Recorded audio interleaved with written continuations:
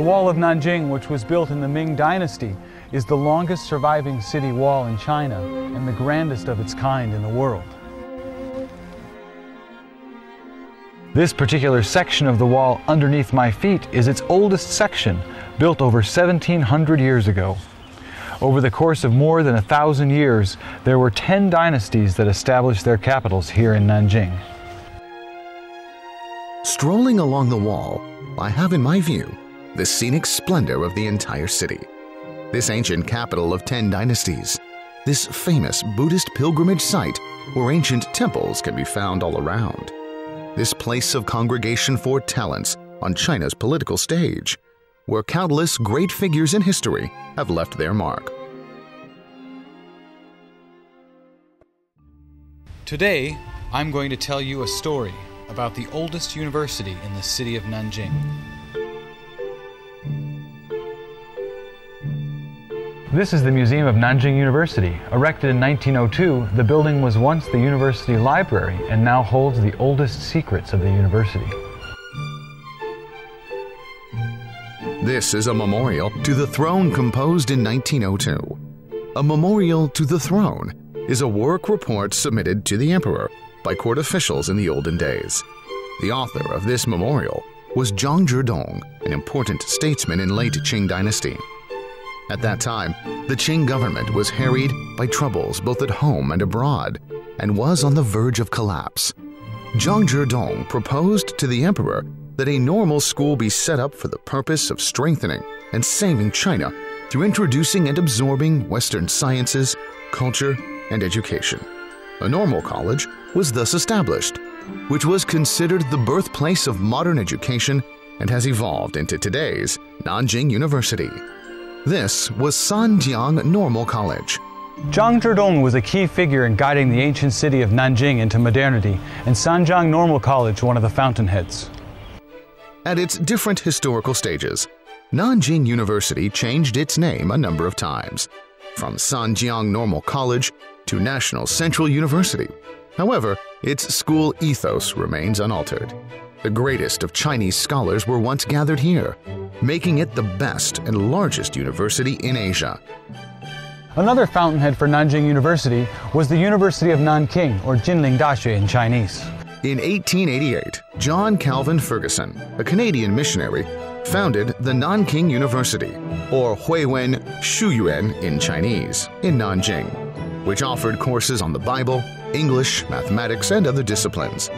Afterwards, the Nanking University was merged with two other Christian schools into the University of Nanking. In 1952, it was merged with Nanjing University.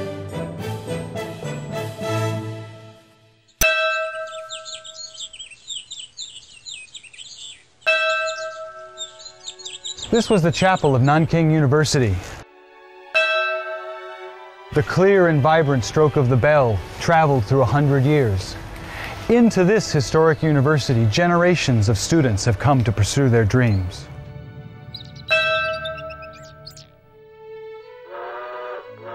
In 1915, a group of young Chinese students studying in the United States founded China's earliest modern academic society for science, the Science Society of China.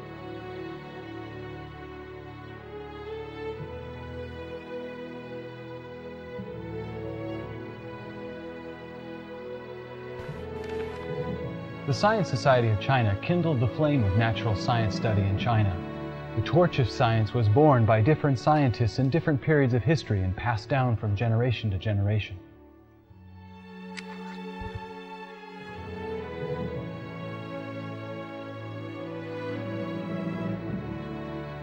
In the 1920s, the Western science and culture had tremendous influence over China.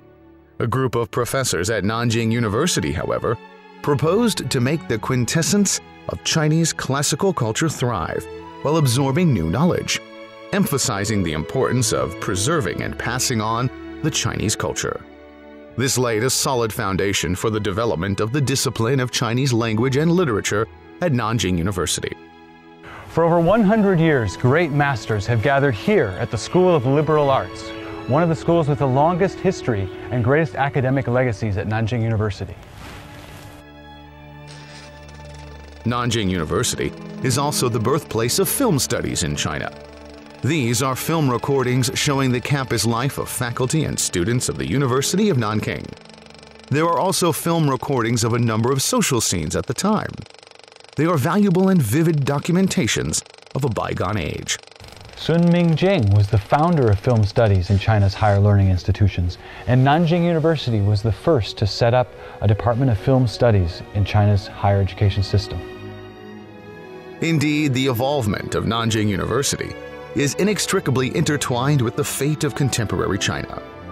In 1960, here on the second floor of this building, in this room, Cheng Kaijia, a professor of physics at Nanjing University, received an order from Beijing. He was to take charge of a program for aeronautics and astronautics, as well as man-made satellite for the young republic. Having studied under the supervision of the great physicist Professor Max Born, Cheng Kaijia became a fellow at the Royal Institute of Chemistry in the UK by the age of 30. This excellent physicist answered the call of his country and walked into the vast Gobi Desert, in whose harsh wilderness he then stayed for 20 years. The fight for truth, to concern oneself with the rise and fall of the nation. This is the tradition of the Chinese intelligentsia.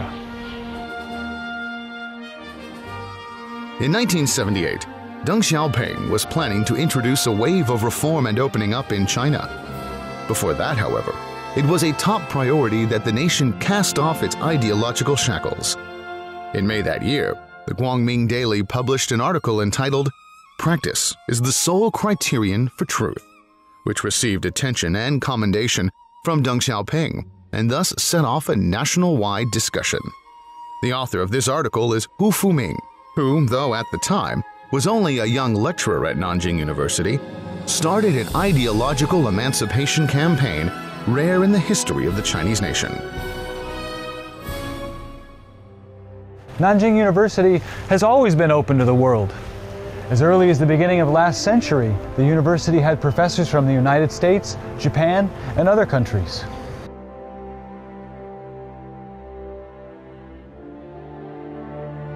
This house was once the home of Professor John Lossing Buck and his wife Pearl S. Buck. Professor Buck founded the discipline of agricultural economics in China and was the first head of the Department of Agricultural Economics at the University of Nanking. The Bucks frequently went into the Chinese countryside for field research, which inspired Pearl S. Buck to write her great novel, The Good Earth. The novel won the 1932 Pulitzer Prize for Literature, and six years later, the second Nobel Prize for Literature in U.S. history. In October 1998, former U.S. President George Bush visited Nanjing University and accepted an honorary doctorate from the university. As he went around the former residence of Pearl S. Buck, he mentioned that, like millions of Americans, his knowledge of and yearning for China began with Pearl Buck's novels.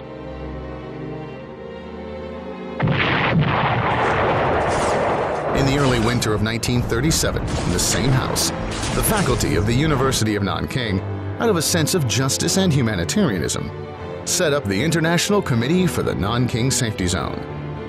During the Japanese occupation of Nanjing, the Nanking Safety Zone protected the lives of more than 250,000 civilians. We will bear forever in mind the names of these guardians of peace. Miner Searle Bates, Charles Riggs, Robert O. Wilson, Lewis S.C. Smythe, John Magee, and John Rabe.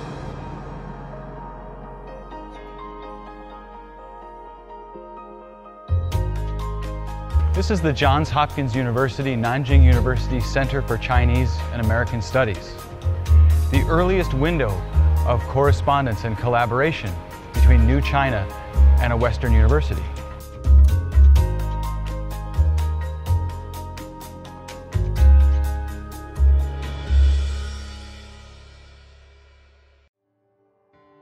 Over the course of 30 years, more than 3,000 graduates set off from here for all parts of the world.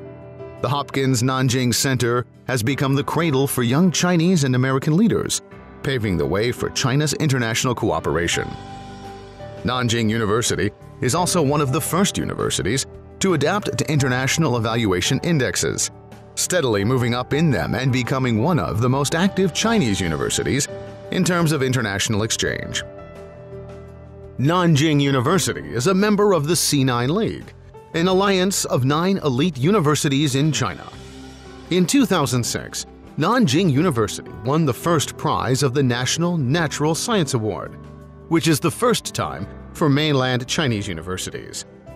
16 disciplines rank top 1% worldwide in 2016 ESI rankings, while chemistry enters the 1% ranking. In 2016, the Nature Index data shows Nanjing University ranks the second among all the universities and institutions in China, the 20th among the global universities and institutions, the 25th among the worldwide research institutions, and the fourth among the research institutions in the Asia-Pacific region. Nanjing University has ongoing student exchange programs with a great number of top universities in the world. More and more overseas students and scholars are choosing Nanjing University to further their education and research. There are comfortable and safe international student apartments and convenient transportation options. There are first-class libraries and gymnasiums as well as modern teaching facilities. There are also a variety of leisure and social activities with more than 100 student clubs and societies to meet student interests. Various recreational and sports activities, visits, and tours make Nanjing University the best choice for foreign students to learn and experience China.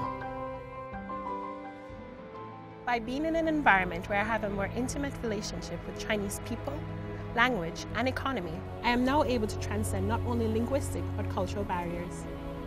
Uh, my name is Kenneth Jarrett. I'm currently the president of the American Chamber of Commerce in Shanghai. So in terms of the center's contribution to that, I would say it gave me you know, a fresh or a special perspective on China. You know, both the chance to get to know Chinese young people, and then you're seeing China not from the perspective of a government official, because at the center, you know, I was just a student. Well, when I was acquainted with Nanjing University, I was amazed by the beauty of the campus. Uh, the old campus and the new campus both are very beautiful. They are beautiful because they are full of trees, and I see the, uh, the, uh, the, leaves turn uh, red and yellow, and so this for me is one of the amazing beauties of, of this university. Nanjing University this hundred-year-old university of great repute has a broad vision, rich history, innovative vitality, and youthful passion. Immanuel Kant said, two things fill the mind with ever new increasing admiration and awe. The starry sky above me and the moral law within me. For more than a hundred years, Nanjing University has been regarded as having the most liberated ideas, the most independent spirit, and the purest scholarship. It has been presenting its own interpretations of the concept of university spirit and propping up a glittering stretch of the starry heaven of scholarship.